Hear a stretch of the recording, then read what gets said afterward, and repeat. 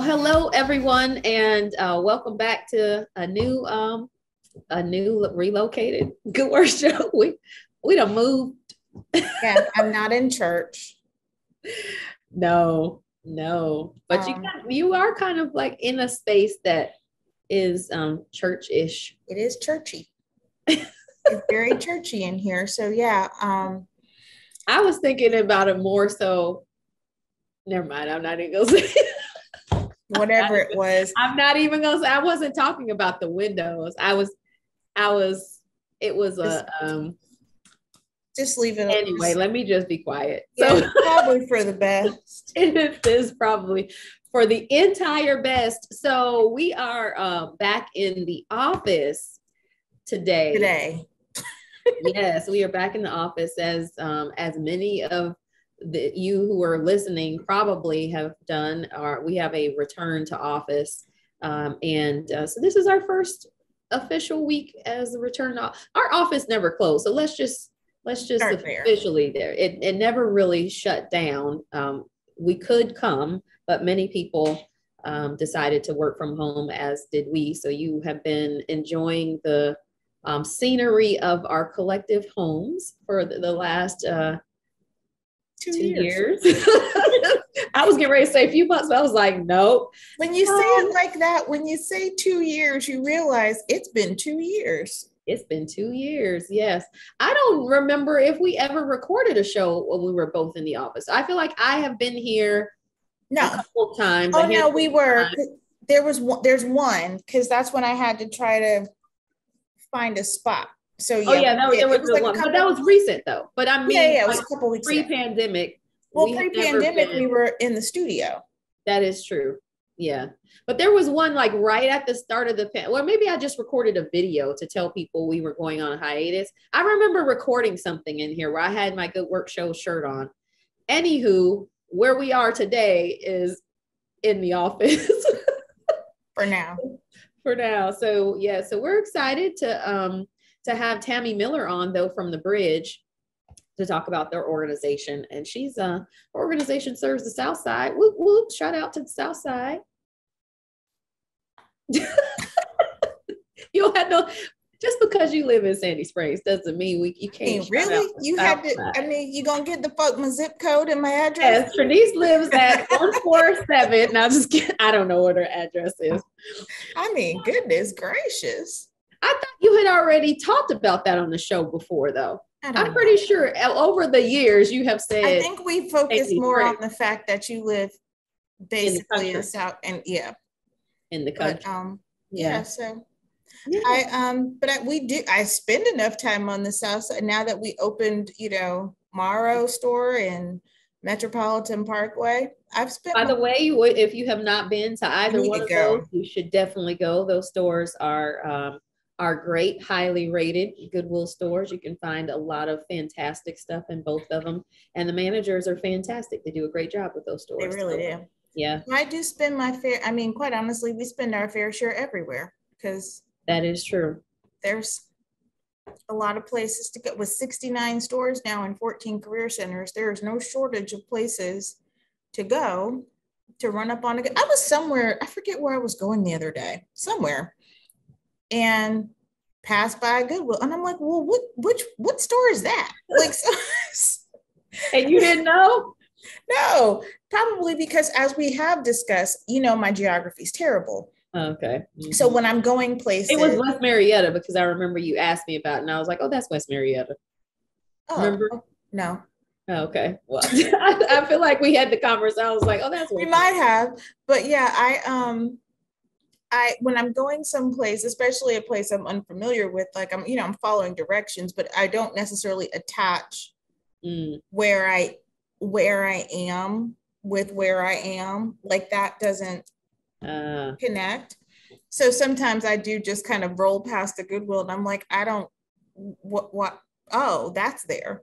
So, okay, we'll, yeah. we'll just go with that. And then sometimes I remember, I'm like, oh, I've been here before. And then that helps. Mm-hmm. But I can't say that I, yeah. Mm-mm. so yeah anyway well there's a lot of them now so you nine times out of ten if you're going somewhere you're going to roll past a goodwill or a donation center there's going to be That's a true. goodwill sign somewhere there'll be a beacon on a hill literally there might be a beacon, be a beacon right yeah but yeah so um so definitely make your way to a goodwill store but if you if you can't and you know somebody let's get back to the bridge because that's because i i feel like we kind of we went we went past well, it, which was what this, typically happens at the beginning of the show anyway. If you've ever listened to this show in the last however many years, you know. Yes. It happens. But we are very excited to talk to Tammy from the Bridge because it's a great organization and they're hitting on, you know, it, like so many nonprofits, you start out with one topic and then you start to realize, oh, there's this, but the root cause of the issue is this and this. Mm-hmm. So they didn't just identify the root causes, they've actually started creating solutions for some of those causes. So great organization. So let's hear what Tammy has to say.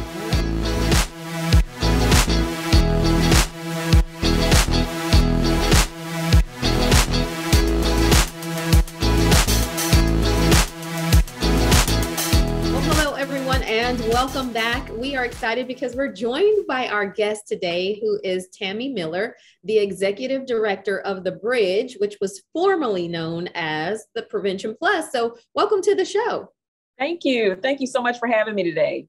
Absolutely, absolutely. So, you know what? Let's get started by educating our audience. And I think you're probably going to need to educate Trinice and I as well a little bit about the bridge. So, tell us about what you do and your mission. Mm-hmm. Yeah, thank you so much. So, our organization is really on focused on youth and families, uh, helping those families move towards um, more positive, thriving outcomes. For many years, we have worked with young people, just focused on young people who struggle academically in traditional public school settings, who need smaller environments to thrive. Um, exposing those young people not only to, to the achievement of a high school diploma, but also because they're life after the program, right? So how they go on if they move on to college or some level of college or exposing them to high growth, high demand careers across the state of Georgia. Um, our immediate focus and long vision has always been around those young people. And then our program really um, met its match, like many other programs across the country, nonprofit work. We um, we were hit by the pandemic. We watched our young people struggle in that particular um, you know, during the pandemic with their family lives. Many of them we found were living in um, motels and were having an issue with food security. So, in order for us to be able to ensure that we can talk to young people who are already struggling academically, um, meet those challenges, we knew that we had to offer support to the families. So we then move forward to, uh, you know, moving in high gear, like many other nonprofits, we started um, working with the entire family. And so our programs move from just education um, to serving youth and their families around food security and housing stability. So that's what we do every day. Great. And you have a couple of different programs that we can talk about um, kind of individually, because I think it'll be interesting to hear how you're meeting these different needs. So, one of them you have is called the Academy. So, can you tell right. us a little bit about that? Absolutely, absolutely. That's our longest standing program. And we serve young people 16 to 21 in the Academy who um, are struggling. They find themselves in this and, and, we all know them, right? They're circling the system. They're off track to the 23 credits they need to graduate from high school. And um, without some additional support, um, they find themselves meandering and then becoming one of those students in those categories in traditional public school, whereby they call them overage and undercredited, right? And so these are young people that will age out unless there's an intervention to help them graduate from high school. We target that student. And one or two things can happen. We run a small SACS accredited high school program. And, and when I say accredited program, it is much like the traditional accreditation that public schools get through Cognia um, and, and, and SACS. So we run that, we have that same level of accreditation. We run a smaller program for students who need more in-house support. And then we work with students who are stuck in traditional public school. They can't get to us. They, you know, they need a, they, for whatever reason, they can't be in our setting full time.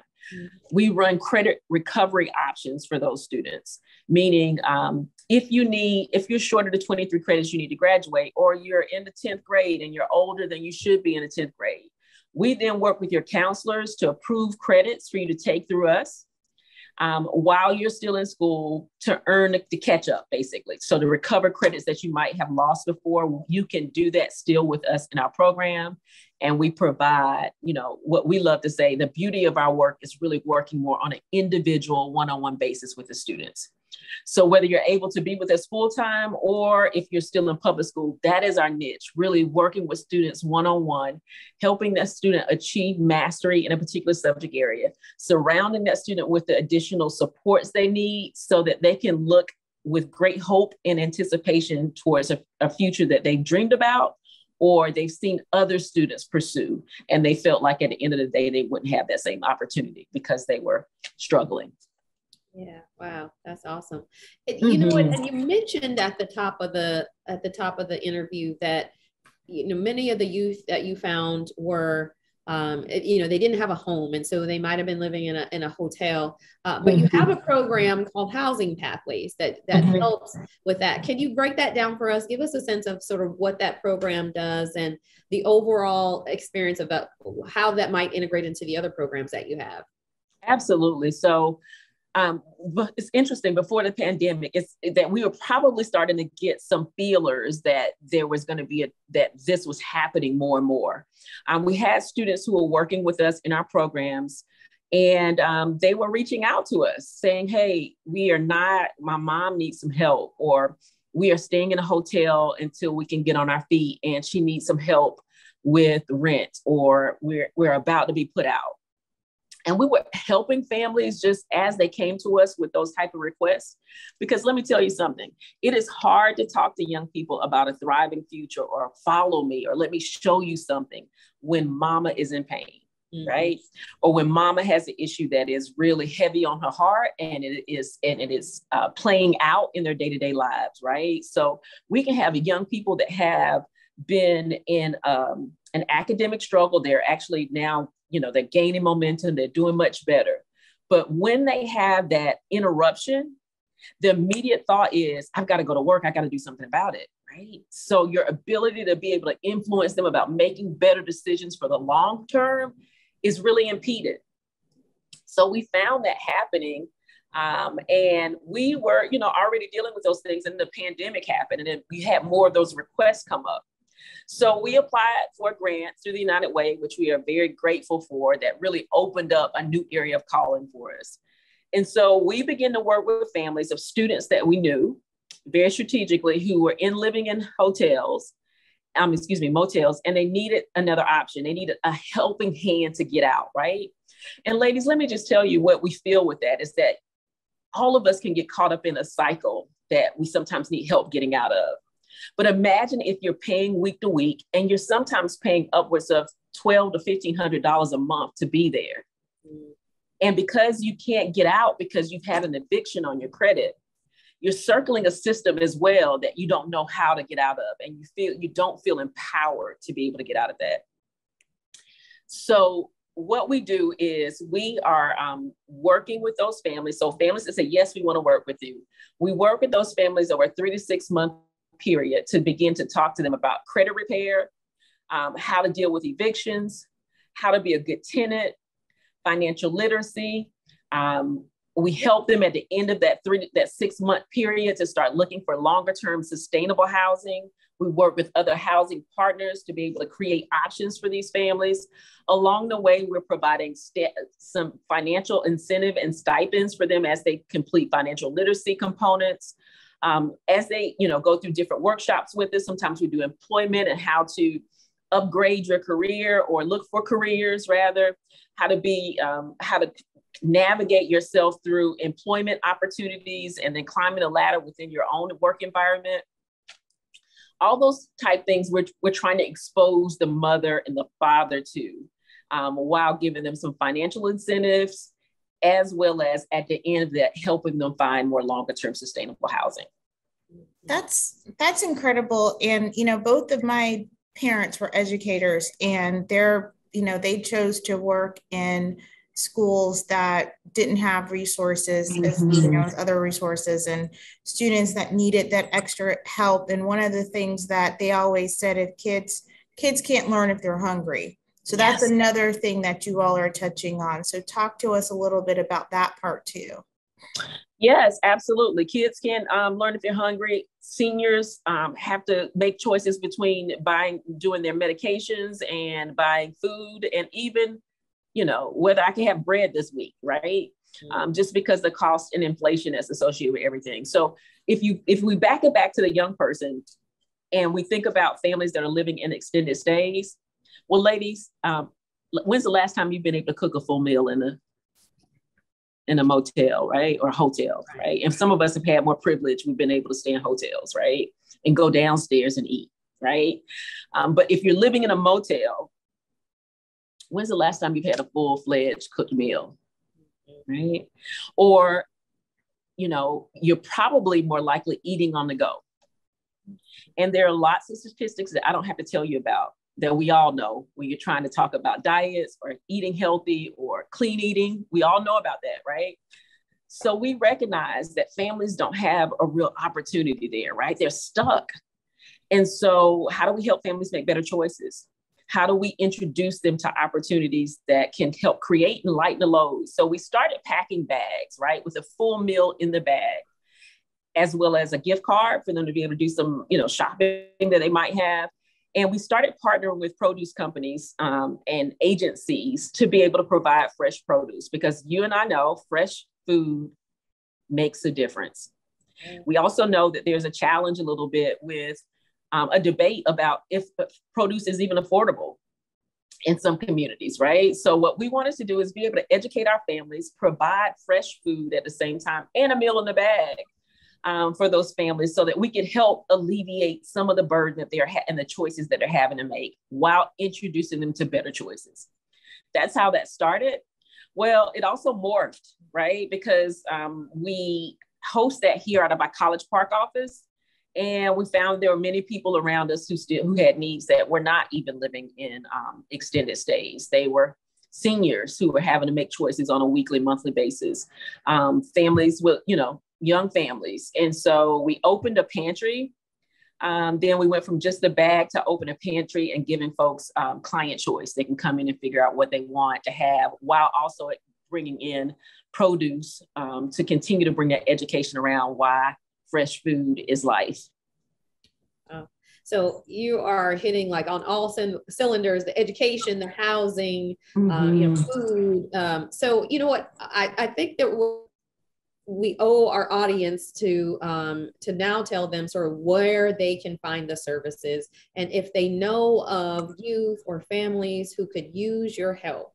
How do Absolutely. we get them connected to you? So tell us a little bit about that. And then i guess the service area too which would, would be important for us to know so that as people are listening and they they know of someone they can make sure that they get them to the right place Absolutely. So we're Clayton County, South Fulton focused. So if you're in the South Fulton area or Clayton County, we are here for you.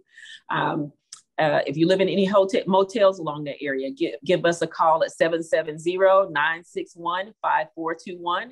If you want help, uh, we have our pantry is open every Thursday from 10 to 2 p.m. You can come in and purchase items for yourself, and we give a gift card for you to help offset anything else you might have to purchase.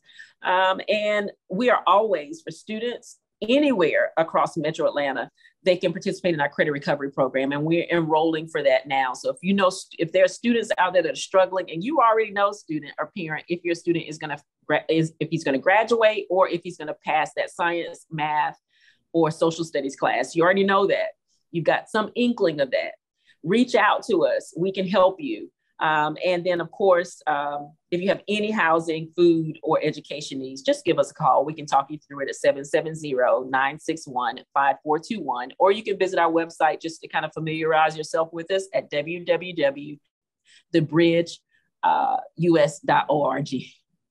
Fantastic. Well, Tammy, it's been a pleasure. We can tell that you have a passion for this work, uh, those folks that you're serving, and just wanting to make a difference in, in seeing the impact on their lives. So, thank you to you and your team for doing what you're doing. Uh, folks, if you have been listening and you know of a family or youth who could use the services of the bridge, please make sure you dial the number get them to the website, get them to Tammy and her team so that they yes. can they can help out. Uh, and um, just we appreciate you. Thank you so much for all of the work that you're doing to pour into our community.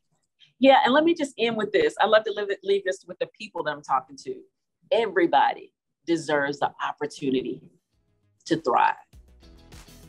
Nice. Absolutely. Thank you so much. Thank you. Thank you, ladies. Thank you.